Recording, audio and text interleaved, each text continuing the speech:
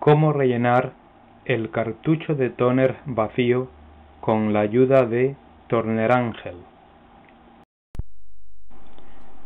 Desmonte el tapón de plástico. Vacíe los restos de tóner en una bolsa de plástico con cierre hermético. Rellene el cartucho con tóner. Vuelva a colocar el tapón.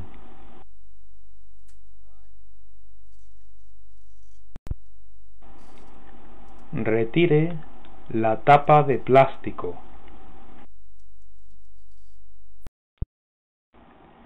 Desmonte el chip antiguo y sustitúyalo por uno nuevo.